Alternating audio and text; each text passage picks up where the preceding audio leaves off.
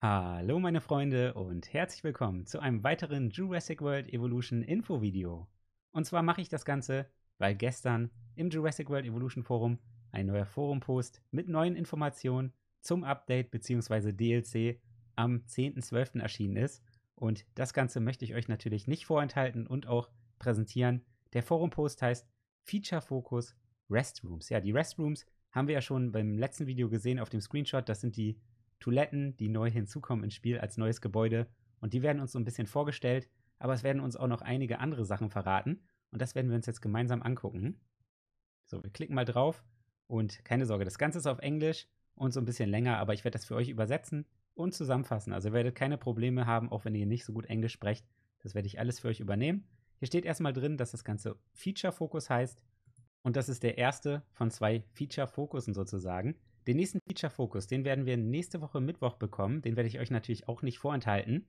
Der erste ist jetzt sozusagen die Restrooms, also die Toiletten.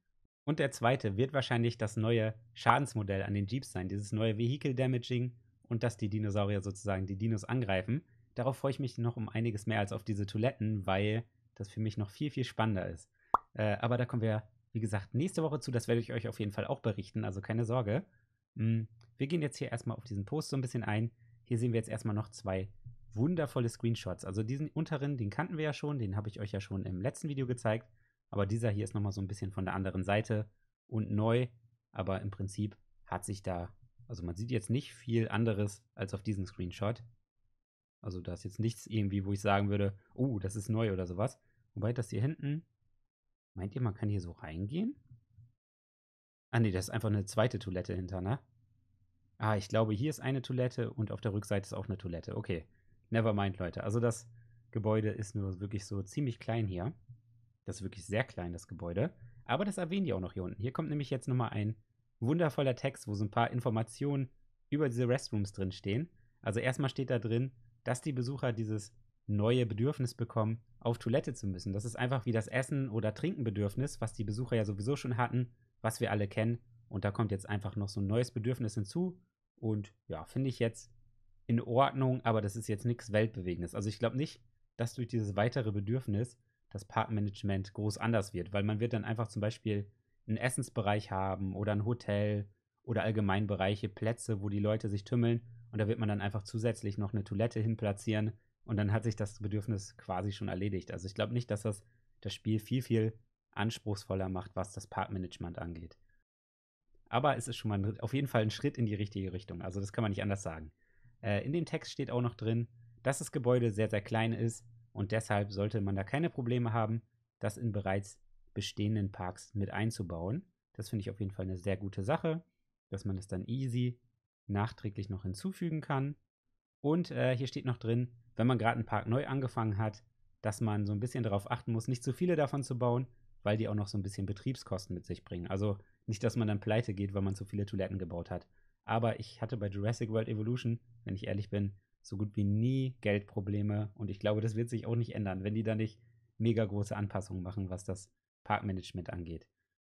Aber Leute, jetzt kommen wir erst zu dem richtig spannenden Part, nämlich hier unten. Tada! Das ist das gleiche Toilettenhäuschen, aber im Jurassic Park-Style. Und das sind sogar diese richtigen anderen Mitarbeiter, oder? Die kenne ich so gar nicht. Das sind sogar diese Originalmitarbeiter aus dem Film auf dem Screenshot. Ist das nicht nice, Leute? Und äh, ja, ich kann es euch hier nochmal zeigen. Hier ist noch ein zweiter Screenshot. Das sieht halt schon wirklich so ein bisschen in diese Richtung ähm, Jurassic Park 1 wie dieses Toilettenhaus aus, wo der Typ aus dem Auto geflüchtet ist von den Kindern, sich da versteckt hat und dann von dem T-Rex gefressen wurde. Ihr wisst sicherlich, welche Stelle ich meine. So sieht das ein bisschen aus, aber es sieht nicht exakt so aus. Also es ist nicht exakt ein Nachbau. Aber ich finde den Style schon sehr, sehr cool mit diesen Holzbalken, den Strohdach, diesen Bambus hier und sowas. Das sieht schon sehr, sehr cool aus. Und jetzt kommen wir nochmal zu dem Text dazu. Die Spieler, die sich das DLC kaufen werden, Return to Jurassic Park, die kriegen auch den Zugang zu diesen Facilities. Facilities sind einfach diese Einrichtungen, diese Gebäude. Und es soll wohl jedes Gebäude, so wie ich das hier lese, in diesem Style verfügbar sein. Also jedes andere Gebäude, jeder, jedes Restaurant und was man alles platzieren kann, das wird dann auch so in diesem Strohdach-Style sein. Finde ich sehr, sehr cool. Also wir werden richtig viele neue Gebäude kriegen. Und äh, ich bin auch bei einigen Gebäuden sehr gespannt, zum Beispiel bei der Einschienenbahnen, weil die werden die ja auch nicht einfach so einbauen können. Wenn das im Jurassic Park-Style sein soll. Da wird ja dann vielleicht so eine Jeep-Tour kommen, wie wir schon gesehen haben. Oder vielleicht wie bei Jurassic Park Operation Genesis, da war ja diese Ballon-Tour. Das wäre auch mega cool, wenn die das stattdessen einbauen. Das könnte ich mir auch richtig gut vorstellen. Wäre auf jeden Fall richtig, richtig spannend. Aber ja, ich lasse mich überraschen. Ich bezweifle es ein bisschen mit der Ballon-Tour. Also das mit den Jeeps ist wahrscheinlich viel, viel realistischer. Äh, genau, hier steht es dann auch, man hat dann halt äh, Zugang zu diesen Gebäuden, alle mit so einem Strohdach, die beim Film inspiriert sind. Also die sind alle so im Style von dem Film. Sind jetzt nicht original Nachbauten, genau wie diese Toilette nicht, aber die sind alle sehr nah dran und auf jeden Fall im Style von dem Film. So, was haben wir denn noch? Okay, jetzt kommt nämlich noch mal so ein Punkt, der ist so ein bisschen mehr, sage ich mal. Also, man wird eine schöne Kampagne haben, da werden diese Gebäude auf jeden Fall verfügbar sein und man kann im Sandbox oder Challenge Mode auswählen äh, mit einem Setting Jurassic Park Ära. Das heißt, man muss sich vorher entscheiden, ob man Jurassic Park Gebäude haben will oder Jurassic World Gebäude. Man kann das nicht in einem Park mischen. Also ihr müsst wirklich am Anfang auswählen, okay, ich möchte in der Jurassic Park Ära spielen und dann könnt ihr nur diese Strohdachgebäude bauen oder ihr müsst am Anfang auswählen, ich möchte Jurassic World Gebäude spielen und dann, ja, finde ich jetzt nicht so cool, dass man das nicht mischen kann, weil dadurch geht natürlich wieder Variation und sowas verloren. Aber ich freue mich trotzdem über diese ganzen neuen Gebäude. Es wird richtig awesome. Das wird ein richtig krasses DLC. Und man muss auch auf jeden Fall sagen, äh, Entschuldigung, äh, dass dieses Mal das DLC um einiges krasser wird als das Update. Beim letzten Mal war es ja so bei Claire Sanctuary, dass das Update viel, viel krasser war als das DLC im Endeffekt. Und jetzt ist es genau andersrum, weil das DLC hat richtig viele Neuerungen und das Update hat ja wirklich nur diese zwei Feature-Fokusse, die, die ich euch jetzt ja gerade vorstelle, also die Toiletten und das Vehicle Damaging und wahrscheinlich noch so ein paar andere Kleinigkeiten. Und das DLC, das hat ja richtig, richtig viele Sachen. Also ich sag euch eins, dieses DLC wird sich mega krass lohnen.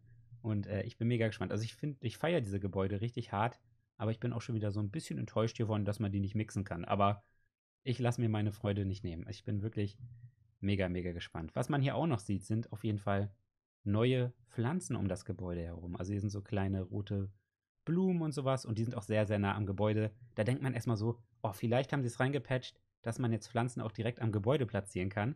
Aber dann habe ich mir mal den zweiten Screenshot angeguckt und hier sind genau die gleichen Pflanzen. Also das ist auf jeden Fall nicht die gleiche Toilette an der gleichen Stelle, weil hier geht es hier hinten hoch. Das hätte man sonst hier hinten auch schon gesehen. Und es sind einfach exakt die gleichen Pflanzen. Achtet mal hier auf diese rote Pflanze und diese Palme hier. Rote Pflanze, Palmen. Also können wir davon ausgehen, dass diese Pflanzen fest zu dem Gebäude gehören. Also wenn du das Gebäude platzierst, werden diese Pflanzen auch mit dabei sein. Finde ich ein bisschen schade, wäre halt cooler, wenn man es selber gestalten könnte. Aber ich freue mich trotzdem. Ähm, ja, was gibt es denn hier noch? Äh, ja, hier steht noch drin, dass nächste Woche Mittwoch der nächste Feature-Fokus kommt. Den werde ich euch auf jeden Fall auch präsentieren. Das wird diese ganze Vehicle-Damage-Geschichte sein. Und ansonsten, das Update kommt am 10. Dezember 2019, das wissen wir alle. Aber ich habe euch gar nicht mehr viel zu sagen. Ich hoffe, dieses Video hat euch gut informiert, hat euch gefallen. Falls ja, würde ich mich sehr über ein Like freuen. Falls ihr nichts verpassen wollt, dürft ihr gerne abonnieren. Ansonsten bedanke ich mich vielmals bei euch für eure Aufmerksamkeit. Macht's gut, haut rein, euer Dandy.